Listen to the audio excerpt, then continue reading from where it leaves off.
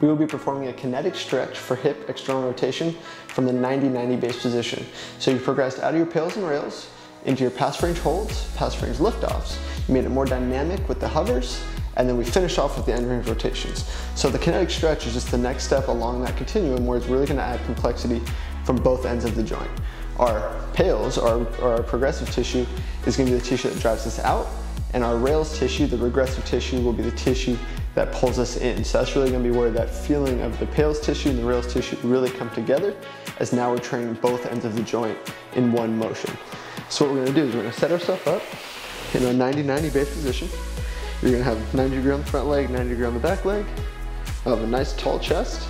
I'm gonna use my regressive tissue to act like it's gonna pull me in. So it's as if I was gonna try to lift this leg off the floor, so as if I was gonna do this here, but it's like I glued my leg from the shin all the way up to my knee, down on the floor. So as I try to pull up, my leg's glued to the floor and it's this tissue, right, the regressive tissue, the tissue that's shortening, that is gonna pull me deeper into that stretch. So you can have your hands here, have your hands out to the side. If you're really mobile, you can go above the head, even overhead or you can just have your hands in the floor. What we're trying to do is allow us to have the best balance possible, but not sacrifice the motion or have to compensate with other areas of the body.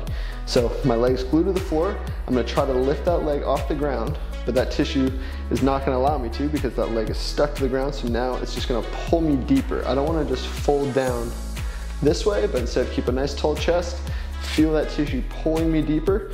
We could lower under a five count, so we'd be at three, two, one, once I reach the bottom of my stretch here, I'm just gonna change directions. I'm gonna drive this down into the floor.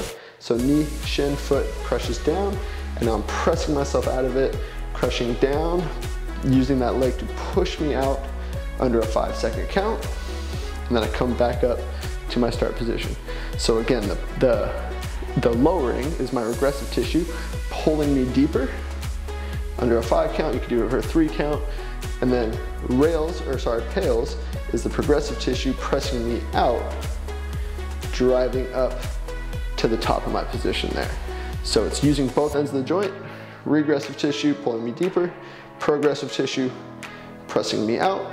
You can play around with different cadences. You can go for a two second in the beginning, go to a five second, or you can make it really brutal, go for a 10 second, lower, super slow, pulling yourself deeper, and then a progressive tissue pressing out, as slow as you want to go. And again, you can make it harder or more challenging, less challenging by having more hand support, moving to less hand support, and then moving your hands into a higher position. So that is a 90-90 hip external rotation kinetic stretch.